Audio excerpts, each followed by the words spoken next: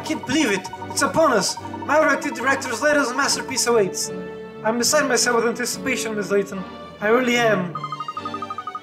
Aren't is this no sub for love film? It's a romance story, is it? You've only just worked that out? Well, yes, it's a romance, but it's so much more than that, miss. Actually, you can't pigeonhole actor's work. It transcends genres. Hmm. You see, miss, Rector used to, to direct cult B movies. He had quite a following of Die fans even then. I think it must have been his attention to detail. I mean, really, he was a complete perfectionist. But he somehow never managed to appeal to Joe Public.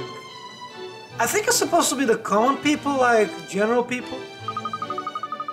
Then, about 10 years ago, he started to move into more mainstream genres, romance stories and so on.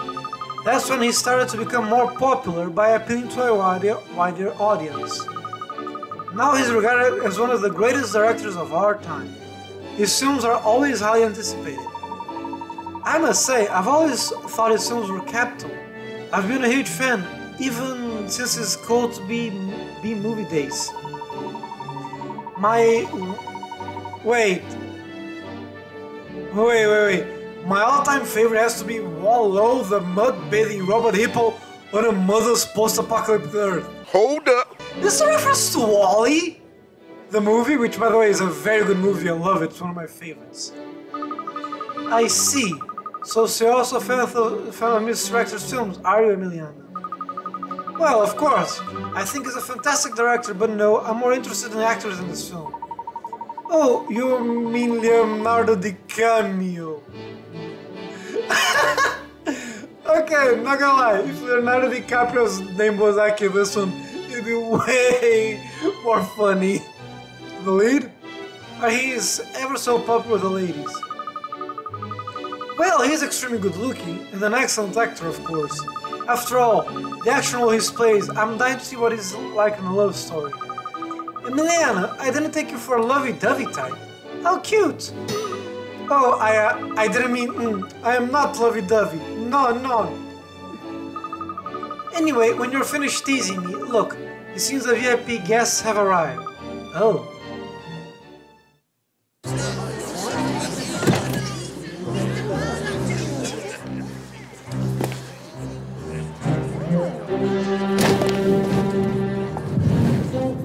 Hey, look! Wow! Well, London's wealthiest would be at an event like this.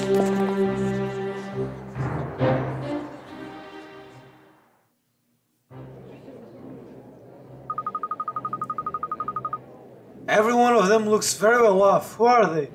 Uh, you know one of them. One of them is the mayor. But also dragons, really. Eh, then again, makes sense. Because this is England, the story of King Arthur and all that, as well as medieval dragons hoarding treasures and being filthy rich. And these guys are, I think, the richest people in London right now, at least in the story. So it makes sense they would be called the dragons. You are very poorly informed, Katrielle. Everyone in London knows who they are. They are known as the Dragons, the Seven Dragons of London. Seven Dragons. Yeah, I'm actually curious, why is it always seven? I mean, like, there's a seven Shichibukai from One Piece, and seven Dragon Balls. Everything is always seven. I don't know why. There are probably other things that I'm not remembering, but always seven. Yes, some of London's wealthiest residents, moguls of media, finance, transport. Between them, they really control the city's economy. Although some of them do come from wealthy families, it's really on, only in the last 10 years that they've become so well known. Oh, not very long then, especially in her historic, historic city like London. I mean, she does have a point. True, and of course it's not just people here in London watching them. The whole world's eyes are trained on these seven multimillionaires. Well, they certainly do sound very influential. You know one of them already. Ah yes, Mayor Loanida. I'm supposed to pronounce their name wrong. So she's one of the seven, isn't she? Oh, we must go and say good, good day, Miss Layton. Yes, I think there's still time before the film starts. Let's go and say hello.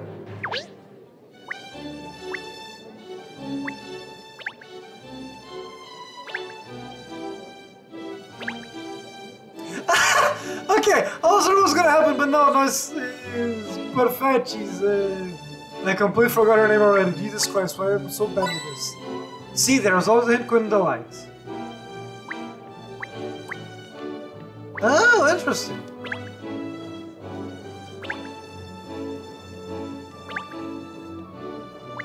Okay, this boat has to be a reference to the Titanic, right? Okay, that was that kind of neat.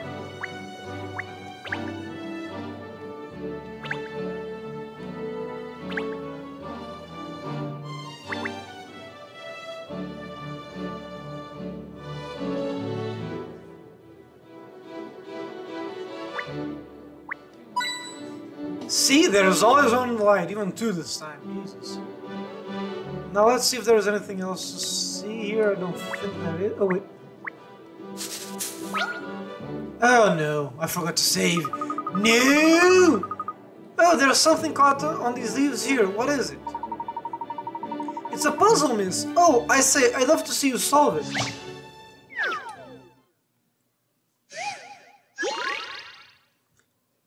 Beat, brain, bleed. Oh, this is not gonna end well for me, is, is it? Here we have a simple child's story that consists of five rows of five wooden poles, each of, each of, on which you have thread-colored beads. A little boy was counting the beads on, on, but he's lost count. With a view from above, from, from the front and from the right-hand side, can you work out how many red bees there are in total?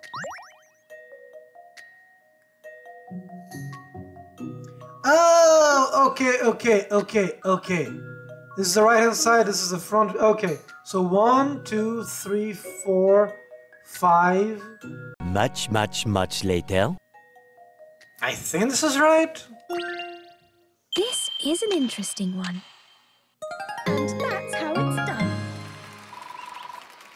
I got it right. Somehow. You did it. You really need to, to visualize, visualize things in different dimensions to crack that puzzle, don't you? Yeah, this one is a bit tricky, I'm not gonna lie.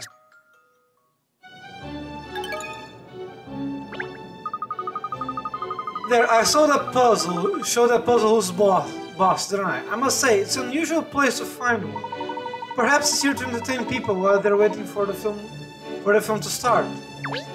I mean, it would be an interesting idea.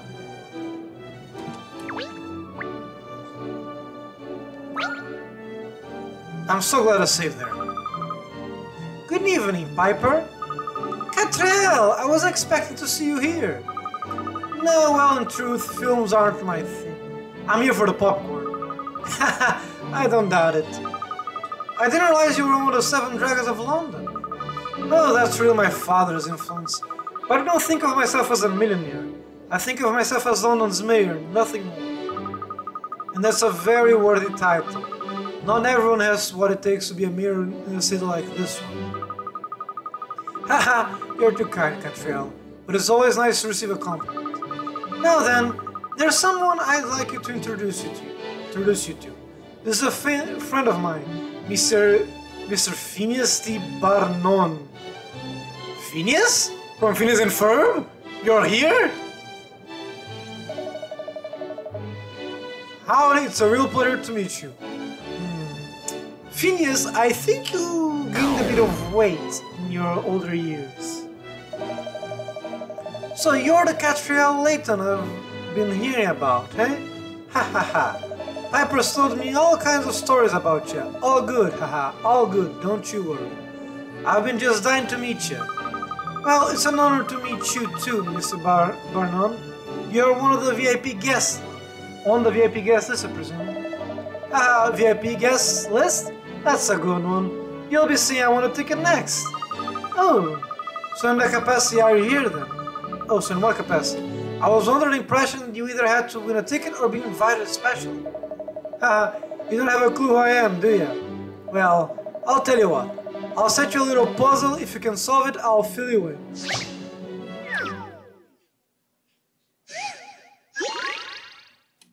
Fortune Teller Fiasco. Interesting name. You've decided to visit a fabulous fortune teller, but it turns out you can decide your own fate with a little bit of brain power. If you can stack all cards onto the discard pile, you'll have good luck. The only rule is that you must either follow number or suit when placing a card on a pile. So get stacking and take control of your own destiny. So for example, yes. Okay, so Oh. So it has to be like this, this, this. Oh, this isn't difficult at all. This, this, this, and this. Huh. This is an interesting one. Puzzles are made for solving.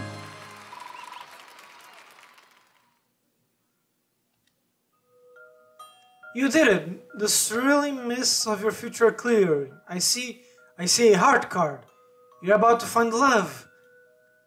Mind to be fair, I expected this puzzle to be way more complicated. No, it was actually easy. I'm honestly surprised. Pleasantly so.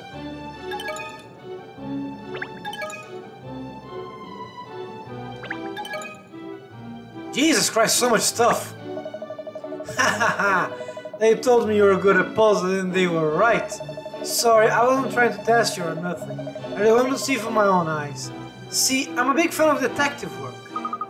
Well, I hope it, I didn't disappoint you. On the contrary. So we had a deal, didn't we? Let me tell you all about me. Hahaha. I'm the manager of the Saveloy, you see.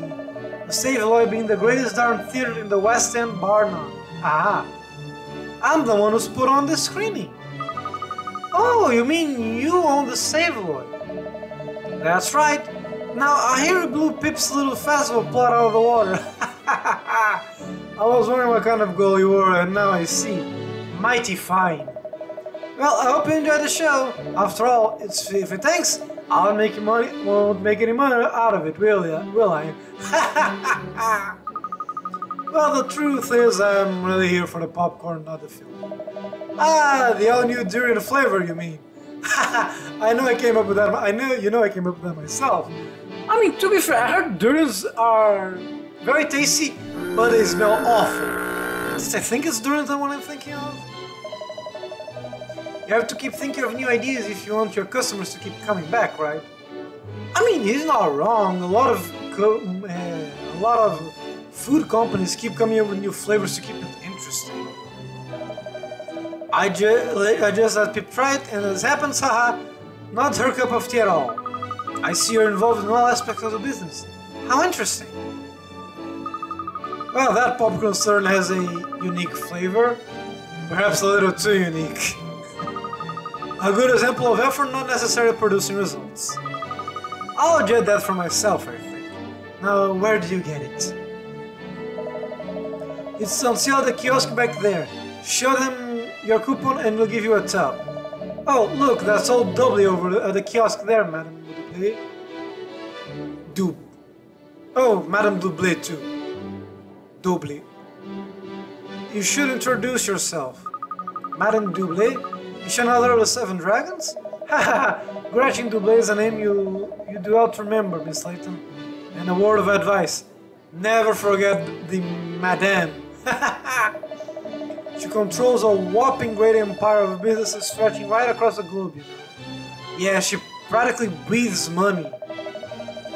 They used to say that the sun would never set on the British Empire. Well, if that metaphor holds any water at all, Madame Doublée would be the sun. She's the glue that holds us all together. The mother, mother dragon, you could say. I see. Well, she certainly sounds larger than life. If you want your detective agents to get any chance of success, it would be wise to move and befriend Madame Doublée, Katrielle. Hmm.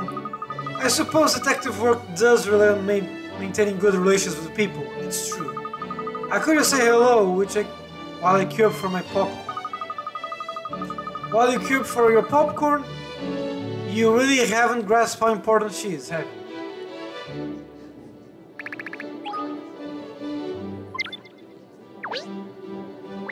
And I think that's all I need to do here, right? Oh, for the love of... There.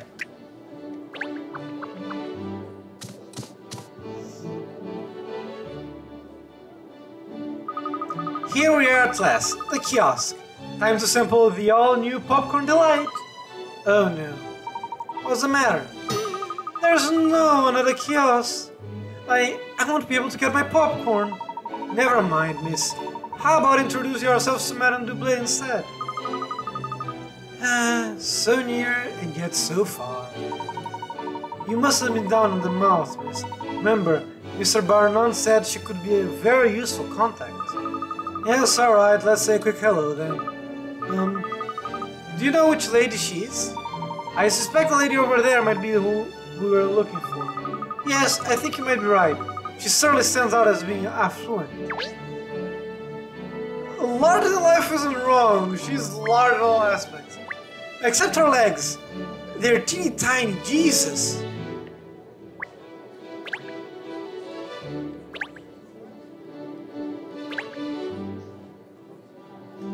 Oh no, okay, so apparently the popcorn does smell like the durian.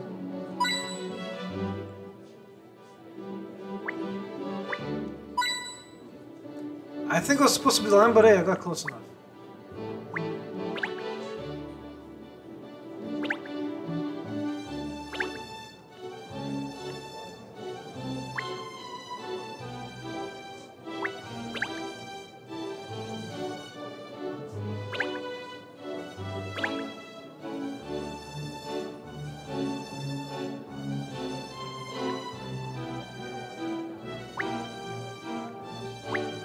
Oh wait, there's something here. You discovered a ferocious figurine. It's been added to your collection. I wonder, is this supposed to be a reference to Godzilla? Okay, I know that not every single... Oh god! Jesus! Because again, I know that not every single giant movie monster is supposed to be Godzilla related, but come on!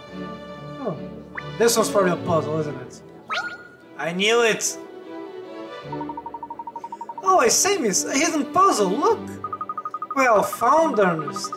Why don't you solve it, seeing as you found it? Me? Oh, um... Well, alright then.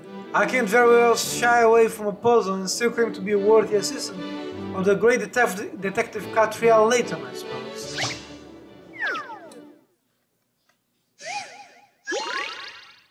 Go with the flow. Interesting name. Some juice vats are connected up as a sh up, up, up as shown. There's a 2 liter, 3 liter, 4 liter, and 5 liter vat in the system. When you select a tap, juice flows in the direction of the arrow on the tap until either the vat is coming from form is empty or the vat is filling up to its full. Divide up the juice so that the two tanks on the left are full exactly to the red line marks.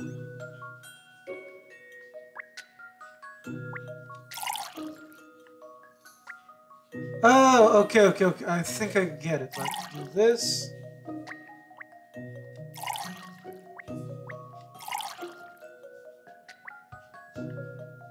Wait.